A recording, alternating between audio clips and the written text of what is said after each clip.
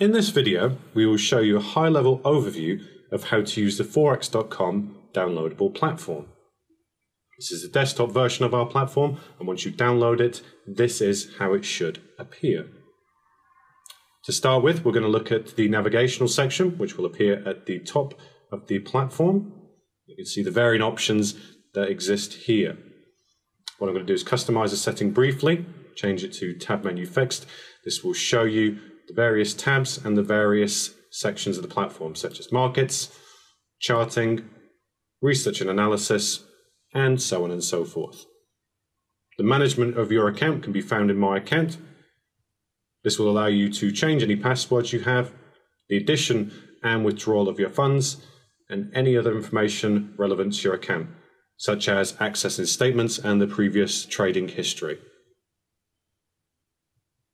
A useful function is the customization section. What this will allow you to do is change to various different layouts. Now this is set to the standard default layout. You can switch simply by clicking here you can see there's an FX desktop setup for ease of trading Forex markets. If you set the platform to a particular layout or a style that suits your trading requirements, it's simply a case of clicking here on Save As, and you'll save a new desktop. Simply give it a name of your choosing, and it'll be there for accessing at future notice. And should you make any mistakes or close windows, you can always revert back to this by clicking there. Another setting you may want to change is the tabs menu. This is simply changed by clicking on one of the varying options here. You can see it's defaulted to tab menu fixed. You may want to go for a classic menu layout, which then baskets everything at the top of your screen, as you can see here, and all the available options, settings will come in a drop-down menu.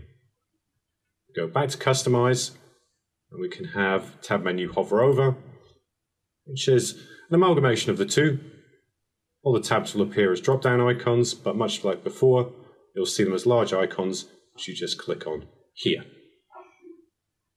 Last thing I want to do is look at the open positions at the bottom. You'll see here I have a position open on the Wall Street indice. This position is one of two that's currently trading, and you can see now that they are basketed together. If I wish to see the amalgamated positions individually, it's a case of clicking on the expansion icon, and it will show everything that I currently have open. So the direction of these particular trades and any profit and loss they may be currently unrealizing. You can edit your trades here at a future moment in time. Anything relative to the trading will be displayed up here. So if you're looking to find out what your current margin indicator is, it'll be clearly displayed here. The amount you have available to trade and the total margin of those required trades. And again, similar to the information found below, it will demonstrate any unrealized profit and loss that you are currently running. Thanks for watching. We'll cover more details of this platform in the ongoing series.